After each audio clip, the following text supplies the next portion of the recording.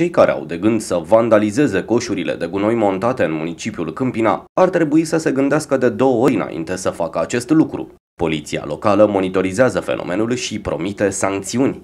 Cazurile întâlnite îi uimesc pe polițiștii locali. Unii distrug bunurile de pe domeniul public pentru a da curs unei provocări. Unii din plictiseală, iar alții din greșeală. Coșuri de gunoi uh, sunt, poate nu suficiente, dar sunt.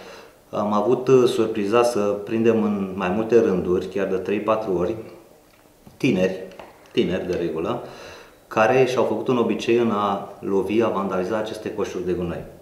Chiar am avut surpriza să-i întreb, dar de ce faceți asta? Chiar v-a picat pe aceste coșuri, între ghilimele? Și ce nu? Păi am pus un pariu că eu reușesc să dărâm acest coș. Sau am jucat adevăr sau provocare. Da, surprinzător, aducem acești tineri aici, le luăm declarații, aplicăm sancțiunile venite, dar sperăm să, să limităm acest fenomen dacă nu reușim să stopăm. Ați găsit și coșuri incendiate?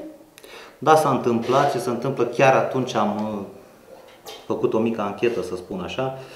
A fost o, un cetățean care și-a aprins o țigare, chibritul, da? Chibritul nu l-a aruncat pe jos, l-a aruncat în coșul de gunoi. Ulterior, vă dați seama că a necesitat un timp până s-a aprins, s-a luat foc. Polițistul meu local a intervenit, s-a dus, l-a stins. Se întâmplă, se întâmplă. Dacă arunca acel chibrit pe jos, abandona un deșeu. L-a aruncat la coșul de gunoi, acesta s-a aprins. Nu știu, poate soluția ignifugării, poate să coșurile să fie mai rezistente. Ce părere aveți de cei care strică coșurile de gunoi? O părere proastă, ce părere să am? Adică ce au cu coșurile? Sunt puse pentru a pune gunoi, nu a le strica, nu? Știți cine caută?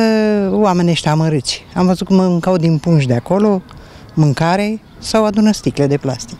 Cei care distrug mobilierul urban sunt descoperiți de obicei cu ajutorul camerelor de filmat montate în municipiu. Ei riscă amenzi usturătoare și chiar dosare penale.